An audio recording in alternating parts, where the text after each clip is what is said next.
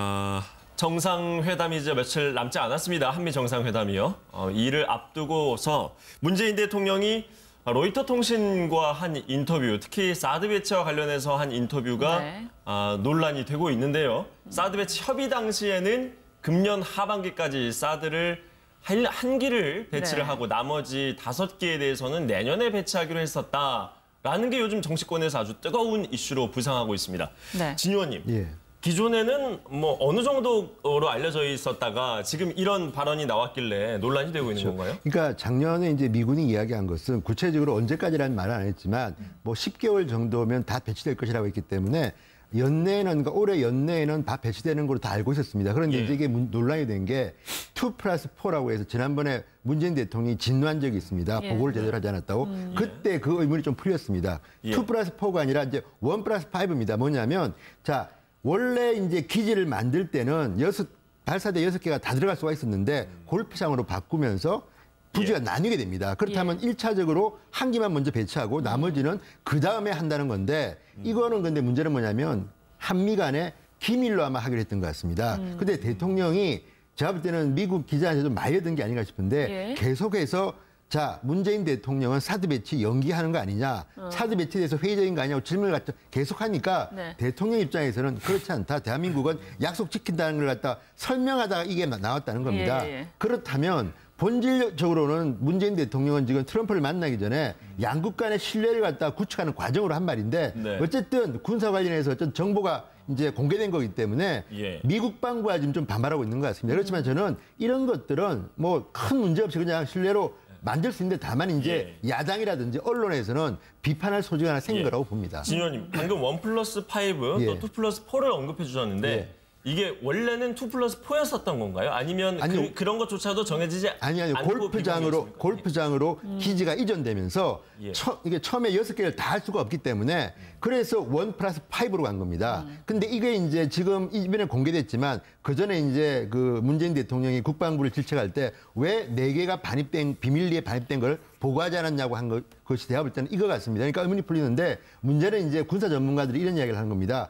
발사대 한 개를 설치하는 거는 예. 크게 의미가 없다. 예, 예. 상인적인 것밖에 없다. 그렇기 때문에 네. 왜 실효성이 없는 한 대를 갖다가 공개를 해서 중국도 그렇고 미국도 그렇고 비판을 받느냐는 건데요. 어쨌든 외교 문제는 저는 그렇게 생각합니다. 예. 가능하면 공개는 적게 하는 게 좋다. 그런데 이제 지금 문재인 대통령은 아무래도 문재인 특보의 발언 등으로 해서 트럼프 정부와 어쨌든 신뢰를 갖다가 맞추려고 예. 노력하는 과정에서 나온 발언이기 예. 때문에 저는 미국 그이 로이터 기자가 좀 지나치게 직구전 질문으로 이 답변을 끌어낸 게 아닌가 싶은데요. 네. 저는 뭐 이거는 원비어나 이런 거에 비하면 크게 저는 중요할 것 네. 같다고 보지는 않습니다. 네. 예. 그런데 또 여기서 문제는 그동안 우리가 알고 있던 내용과는 조금 시기나 규모 면에서 좀 다르다. 이 부분이 좀 논란이 되는 것 같습니다. 좀 심하게 표현하면은 예. 박근혜 정부가 국민을 속인 거죠.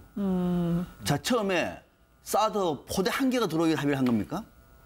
한 기? 두 기? 한 기 포대? 몰라요 우리는.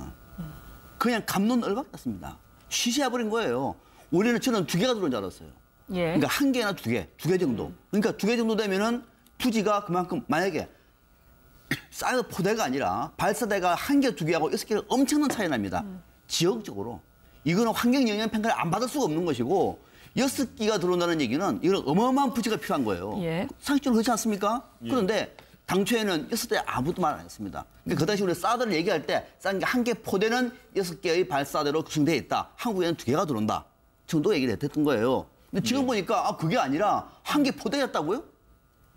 이제 이렇게 국민들한테 거짓말을 한 겁니다. 자, 아무튼 문재인 대통령이 왜 그럼 이 시점에서 이 얘기를 했느냐? 세 가지 포석이 있어요. 예. 하나는 미국에 대해서 걱정하지 마시라. 우리는 사드 자체를 연기 포기하는 것이 아니라 한국에서의 절차적인 문제를 지금 짚고 있는 것이다. 네. 보시라. 지금 이런 문제가 있다. 연기할 의도가 없다. 그래서 그 얘기 하나죠. 네. 예. 중국에 대해서는 우리는 이 문제를 가지고 절차적인 정당성을 확보할 것이다. 한국에 대한 무역 제재 풀어라. 또는 한국에 대한 경제 압박 풀어라.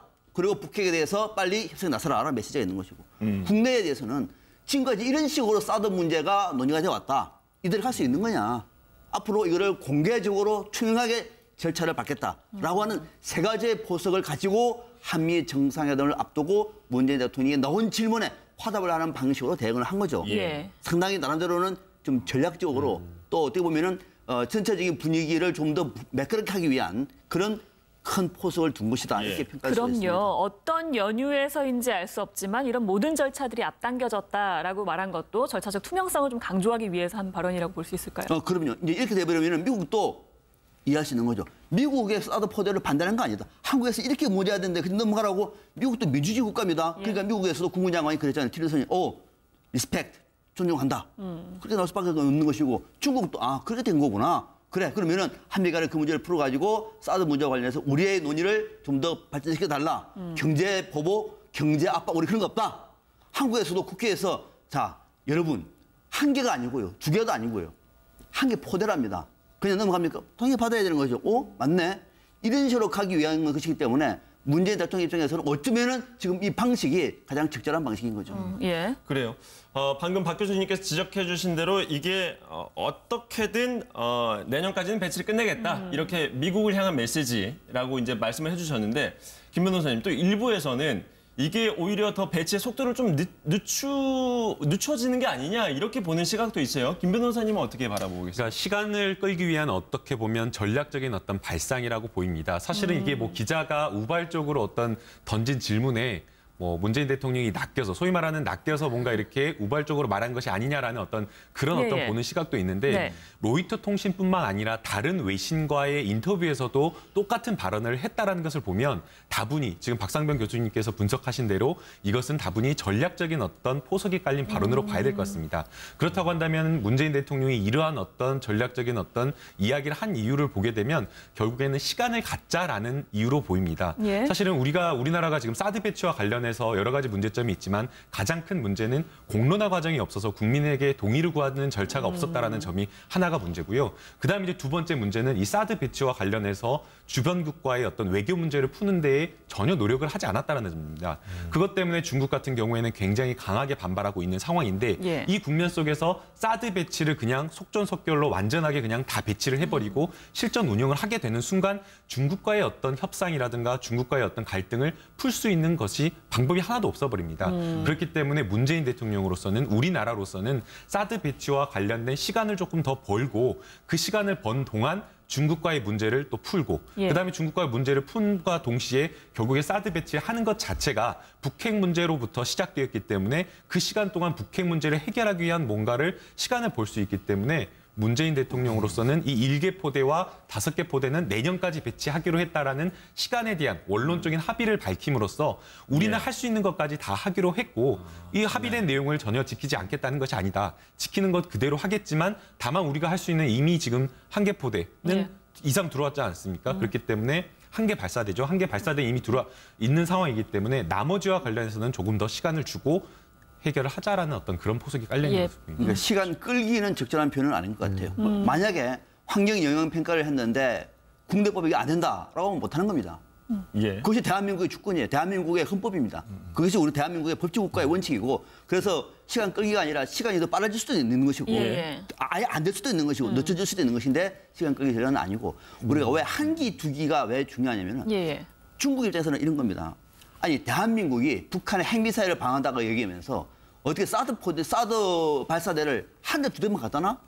그거는 힘이 없는 건데 결국은 북한 미사일이 아니라 미국에 대해서 레이더만 가동하겠다는 것 아니냐 레이더만 중국이 어떻게 하고 있는지 레이더만 가동하면서 말로는 북한 핵을 막겠다고 하는 것 아니냐라고 예. 하는 의심을 살 수 있는 거예요. 왜? 예.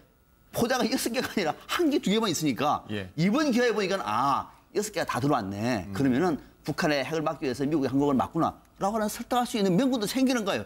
진작에 이렇게 해서 국민을 설득했으면 나와서 너를 쉬쉬하고 무슨 한미가 비밀 협의를 하고 미국에서는 제대로 얘기하는데 국내에서는 숨기고 무슨 일말좀 하다 보니까 결국 일이 꼬인 거거든요. 역시 이 문제를 아예 비공개를 했으면 몰라도 공개를 했으면 국민에게 절차적인 방법을 설명을 하고 동의를 구했으면 훨씬 더 좋았을 걸 예. 쉬쉬하다 보니까 일이 더 꼬인 겁니다. 네, 예. 예. 이제 의원님. 이게 원래 이 한 세트라는 게 발사대가 여섯 개입니다. 이거는 뭐 이미 그전에도 예고된 거기 때문에 예. 이걸 가지고 뭐 우리가 왈가왈부할 필요는 없는 것이고 근데 문제는 뭐냐면 외교라는 게 실리가 있고 이제 명분이 있는데 저는 문재인 대통령이 이 과정의 투명성을 강조하기 때문에 이런 이야기를 하신 거지. 근데 결과적으로 볼 때는 지금 박 교수님도 잠시 이야기했지만 중국한테 빌미를 준 건 사실입니다. 왜냐?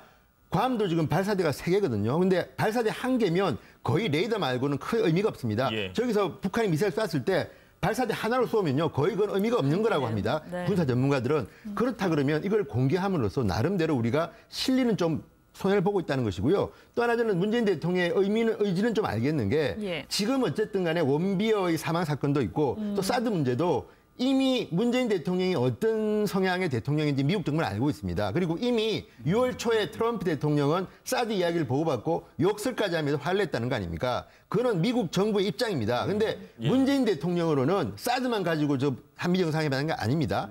저는 경제가 더 중요하다고 보는데 그러면 미국에 가기 전에 어쨌든 괜히 군사 문제로 얼굴 붉힐 이유가 없습니다. 오히려 저는 이 협상 전문가인 트럼프가 아마도 한미 FTA나 경제 문제를 갖다 굉장히 들고 나올 확률이 많고 예. 또 하나는 군사비 분담 문제도 있는데 그렇다면 가능하면 문재인 대통령의 외교 참모들은 문재인 대통령이 좀 편하게 한미 정상회담을 할 수 있는 여건을 만드는 게 중요합니다. 예. 그래서 저는 최근에 문재인 대통령이 하는 행보들을 보면 상당히 지금 이런 데 노력을 하고 있다. 예. 그렇다면 여기에 대해서 저는 외교 참모들이 좀더 좀 조언을 잘해서 예. 필요 없는 그 논쟁거리는 만들지 말았으면 좋겠다. 왜냐하면 이게 문재인 대통령의 외교 무대 대비입니다. 네. 그러니까 이분이 처음 트럼프를 만나는데 너무 골치 아픈 숙제들을 많이 던져놓으면요. 예, 예. 정말 힘들기 때문에 저는 이 정지 작업을 강경화 장관도 그렇고 좀 열심히 했으면 좋겠다는 생각이 지금 듭니다. 진 의원님 말씀해 주신 대로 사실 미중 사이에서 우리나라가 가지고 있는 아주 민감한 이슈들이 많지 않습니까? 뭐 한미 FTA 문제도 있고 등등 있는데 이 사드 문제가 미중 사이에서 가장 중요한 사실 외교 이슈입니다. 지금 이 사드의 속도를 어쨌든 지금 이 정부에서 이제 좀 더 천천히 가져가려고 하는데 이러한 전략이 미중 사이의 이 외교 게임에 있어서 실이 더 클까 아니면 득이 더 클까 이걸 가지고도 논쟁이 많습니다. 박 교수님 어떻게 보세요? 외교에서 가장 큰 힘은요. 그 나라가 힘이 있을 때 같습니다. 외교 사이에서 이쪽 나라를 숨기고 저쪽에서 이익을 찾는 방법 어느 세계 어느 나라도 없습니다. 그런 오판입니다. 전쟁 때는 가능합니다. 전쟁 때는 지금의 평상 국가에서는 뭐냐면은 우리의 주권을 가지고 우리가 힘이 있을 때 우리가 선택의 여지가 있을 때 한 개를 던지고 한 개를 얻을 수 있는 거지 한 개를 얻을 만한 힘도 없으면 다 놓치는 거예요. 100년 전에 우리 조선이 그랬던 겁니다. 지금은 우리가 사드 문제는 대한민국 국민이 원하지 않으면 안 된다고 얘기하는 것이 가장 큰 이득인 거예요. 그리고 사드는 북핵을 막기 위해서 우리한테 필요하다라고 말하면 중국이 무슨 말 합니까? 대한민국의 안보를 막 안보를 대한민국 국민들이 원하는데 중국이 왜 앞장서요? 그것이 아닐 경우가 문제가 생기는 거거든요. 자, 그러면 지금 같은 경우는 문재인 대통령 바로 그 점을 지금 찍고 있는 거예요. 자, 사드 문제는 이번에 방금 말씀하신 것처럼 외신과의 통화에서도 문재인 대통령이 항상 하는 얘기가 뭐냐면 사드 연기, 사드 포기 문제가 아니라 국내의 절차적인 문제가 있다. 예. 저도 사실은요, 이거 처음 알았습니다. one plus five, two plus five 처음 예. 알았어요. 저도 사드 문제를 방송에서 수백 번 얘기를 했음에도 불구하고 글도 썼습니다. 뭐 몰랐습니다. 왜 저를 이렇게 바보를 만듭니까? 정부가. 처음부터 모르, 뭐, 처음부터 아니 쉬쉬하든지 네. 그러니까 이런 식으로 와가지고 끊임없는 논쟁. 박근혜 대통령이 얘기했잖아. 찬성하느냐 반대하냐고. 우리한테 그것밖에 없는 거예요. 이 얼마나 단순하고 무지한 발언입니까? 그러니까 이 문제를 가지고 우리가 논의를 할 수 있는 틀을 문재인 대통령이 만들고 있는 것이고 만약에 여기에 대해서 이 문제가 대한민국의 입장이 된다고 얘기하면 중국도 저는 이해하리라고 보고 미국도 이미 존중한다고 얘기했습니다. 그러면은 미국과 중국도 이 문제를 가지고 대한민국이 이 문제를 양국의 입장에 저촉되지 않게 풀어나간다고 얘기하면은 주권 국가로서의 당연한 행동인데 중국이 반대할까요? 저는 상당 부분 지금보다는 더 진전되리라고 봅니다. 예.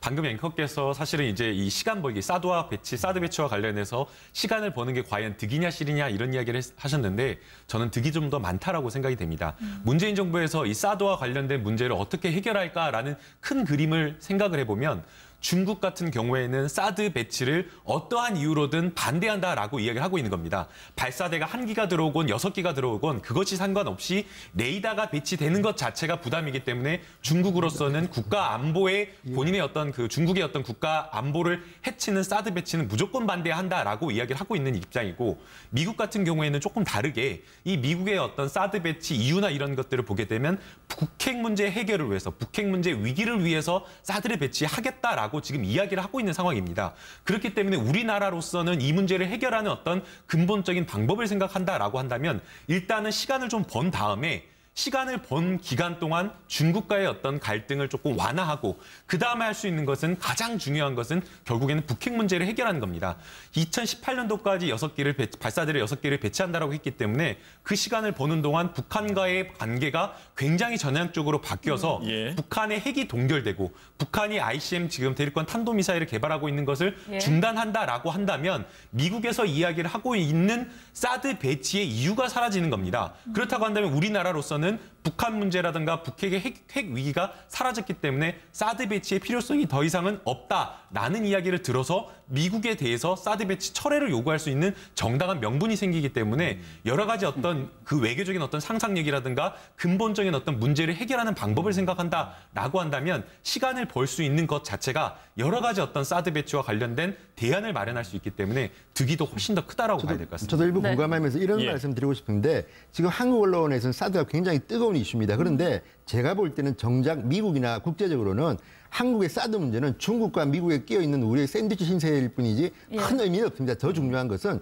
최근에 이제 외신들 반응을 보면 CNN 같은 경우는 이제 노골적으로 김정은을 때립니다. 어떻게 예. 때리냐면 원비어 때문에 지금 미국은 사실 원비어 사건에 비하면 이 사드 이거는 사실 관심도 별로 없습니다. 미국 예. 국민들은 원비어를 계기로 일단 북한 정권에 대한 분노가 끌어오르는데 예를 들자면 최근에 보도를 보면 자 1년에 7천억이 넘는 돈이 김정은의 호화 사치 생활에 쓰고 있다. 그래서 이 돈줄을 잘라야만이 북한을 제압한다. 이런 보도가 나오고 심지어 영국의 데일리 메일이라는 신문은 네. 그 명세서까지 냈습니다. 여기 보면 36억이 그 기쁨조의 속옷값이다. 예를, 예를 들어서 어떻게 취재했는지 참 궁금하기도 하지만 그런 식으로 해서 지금 김정은 정부를 압박하고 있습니다. 문재인 대통령도 마찬가지입니다. 저는 깜짝 놀란 게 군의 군 참모들이 반대하는데도 불구하고 우리 개량형 탄도미사일 현무2 시험 발사를 직접 봤다는 거 아닙니까? 왜 봤겠습니까? 그러니까 나는 지금 사드 문제에 대해서는 투명성을 갖다가 강조하지만 반대로 네. 북한에 대해서는 우리는 언제든지 비판한다. 그리고 원비어가 죽었을 때도 조전을 치고 그다음에 북한 인권 문제에 대해서 굉장히 세게 비판했습니다. 그러더니 북한의 조평통이 문재인이라는 이름을 쓰지 않았지만 한국의 대통령을 또 비판합니다. 저는 뭐냐면 이런 분위기를 통해서 문재인 대통령은 나는 미국이 생각하는 그런 사람은 아니고 이 문제는 확고하다. 다만 사드 같은 이런 것들은 좀 더 투명하고 공개적으로 하고 싶다. 이런 메시지를 던진 거기 때문에 저는 예. 지금까지는 잘 가고 있습니다. 문제는 예, 뭐냐면 이런 전반적인 북한 인권에 대한 문제라든지 북한 핵 또는 미사일에 대해서 비판하는데 같이 가야지 만약에 지금 문재인 특보처럼 한마디를 잘못하게 될 경우는요. 예. 문재인 대통령이 해야 될 말을 예. 그 특보가 나는 월급 한- 월급 한 푼 안 받는 학자라면서 말함으로써 우리 입지를 좁힐 수가 있다. 네. 물론 저는 문재인 특보의 그 선의는 저는 이해하지만 예, 예. 예. 외교라는 것이 꼭 그렇게 흘러가지는 않습니다. 그리고 미국 언론들은요. 이번에 로이터도 보지만 뭐 우리 다 기자시니까 아시겠지만 제목 하나 뽑기 위해서 굉장히 직구적 질문들을 계속합니다. 네네. 그게 말려 들어간 순간 문재인 대통령은 선의로 많은 말씀을 하셨는데 예. 제목은 한국 정부 사드의 부정적 이렇게 나옵니다. 네. 그게 미국 언론의 현실이기 때문에 저는 그 다른 것도 중요하지만 대통령이 미국을 갔을 때 홍보 라인이 잘 움직여야 됩니다. 그래야지 트럼프면 트럼프라는 지도자가 워낙 예측 불가 아닙니까? 그래서 저는 우리 한국의 홍보팀들도 같이 가서 미국 언론을 갖다가 좀 나름대로 잘 뭐 설득해야 된다. 이것도 예. 상당히 중요할 거라고 네, 봅니다. 일단 이번에- 지금 얘기하신 예. 것과 관련해서 전략적인 의도가 있느냐 없느냐 이 부분에 대해서 조금 엇갈리는 것 같은데요. 한미 정상회담이 과연 어떻게 흘러갈 것인가 야당에서는 이 부분을 두고 비판을 했습니다. 이야기를 먼저 들어보시겠습니다. 우리나라 안보의 최고 책임자인 대통령이 극도로 민감한 안보 문제인 사드 배치 현황을 이처럼 외국 언론에 공개한다는 것 자체가 지극히 부적절한 일입니다. 더구나 문 대통령은 나도 모르는 어떤 이유로라고 하면서 마치 한미 간에 어떤 불법적 모의를 해온 것 같은 뉘앙스마저 풍기고 있습니다. 문재인 대통령이 한미 정상회담을 앞두고 어떻게 하든 사드 배치 연내 배치를 서둘러 온 미국의 기를 꺾고 협상의 주도권을 쥐겠다는 의도로 동맹국을 공격하는 것은 아닌지 참으로 우려스럽습니다. 근데 이제 문재인 대통령 발언을 보면 예. 마치 미국이 처음 약속한 걸 어기고 어, 일방적으로 행동했다. 음, 그래서 아마 미국이 이, 어, 국, 국방부 아마 성명이 나온 것 같은데 예. 에, 어, 우리는 어, 투명하게 진행했다. 이런. 음, 그래서 저는 문재인 대통령이 한미 정상회담을 앞두고 예. 어, 왜 이렇게 가 각을 불필요한 각을 세우는지 솔직히 잘 이해가 안 됩니다. 트럼프랑 한번 맞짱 뜨고 싶은 것 같아요. 네, 하태경 의원도 이제 불필요한 각을 세우는지 솔직히 이해가 안 된다 뭐 이런 얘기를 했는데 어떻게 아, 보십니까? 저건 동의하지 않습니다. 네. 각을 세우는 게 아니죠. 지금 자유한국당도 대한민국의 정당 아닙니까? 지금 우리가 아- 이번에 문재인 대통령이 이 얘기를 밝힌 것이 동맹국을 공격하는 겁니까? 왜 하지도 않는 얘기를 지금 공격한다면서 한미 간에 저렇게 이간질을 하고 있는 거죠? 저는 저거는 정무대 원내대표의 걱정은 알겠어요. 예. 그 지적 중에서는 이건 옳다고 봅니다. 대한민국 국민에게 먼저 설명을 했어야 된다. 왜 외국 기자와 설명을 하느냐, 먼저 하느냐. 그건 좀 옳다고 봐요. 이 얘기를 가지고 문재인 대통령이 확보를 했으면 국민에게 먼저 얘기를 하는 것이 옳았는데 이것을 가지고 미국을 동맹국을 공격한다라고 얘기하는 건 이거는 제1야당 대표로서는 적절치 않고 또 더 중요한 것은 자, 이 상황에서 하태경 의원까지도 이- 미국과 각을 세운다라고 하는 얘기는 그러면 미국과 각을 세우지 않기 위해서는 미국이 하자는 대로 하는 것이 각을 안 세우는 겁니까? 저는 저는 의식 자체가 저는 문제가 있는 것 같아요. 우리가 할 수 있는 얘기를 하는 것이 오히려 우리가 협상이라든지 국제사회에서 우리의 목소리가 더 커지는 것이고 당연히 해야 할 일입니다. 이 문제에 관해서 우리가 할 수 있는 얘기가 있는 거예요. 지금도 이- 이거는 저는 사드 배치가 미군이 부담하는 겁니까? 우리 대한민국 이 비용을 부담하는 겁니까? 역사대가 다 들어오는 겁니까? 안 들어오는 거 아무것도 모르는데 그냥 미국이 하자는 내내 이렇게 하는 것이 옳- 옳다는 얘기예요? 한미 합의라는 가정하에 이제 미국이 저거는 예. 저거는 하태경 의원은 저 문제 상당히 최근에 발언하는 것이 좀 건강했는데 이 발언만큼은 예. 동의하지 못하겠습니다. 진호 그러니까 사실- 그 야, 야당이 지금 이렇게 반발하고 나서는 본질적인 이유는 어디에 있다고 봐야 될까요? 일단 지금 야당은 문재인 정부의 안보관에 대해서 의심을 하고 있습니다. 제 생각은 그렇습니다. 그리고 첫째 여야 간에 지금 이런 안보에 대한 신뢰가 성숙되지 않았다는 게 저는 문제인 것 같고 그럼에도 불구하고 저는 정우태 원내대표가 저 정도 비판을 할 수 있다고 보지만 네. 다만 저는 이런 생각 드는 게 자 국내에서는 여야가 이렇게 경쟁하고 싸우는 게 맞다고 보지만 대통령의 외교 데뷔 무대에는 야당도 좀 도와줘야 된다. 왜냐하면요 우리가 안에서는 싸우더라도 밖에 나가면 트럼프가 미국 우리의 혈맥이지만 또 그 관계에서는 경제적으로 주고받는 게 있지 않습니까? 그렇다면 저는 야당도 필요하면 지원해줘야 된다는 것이고요. 또 하나 문제는 이제 이, 이 문제입니다. 저는 걱정하는 게 자 그러면 미국 정부는 그럴 겁니다. 아니 우리가 1조문 해가지고 우리 돈으로 좀 해주는데 니들 실름하지 마. 그 다음에 트럼프는 이미 그 이야기 했습니다. 합의 내용도 아는지 모르는지 앞으로 우리가 한국에부터 군, 이 미군 분담금을 더 받아내겠다.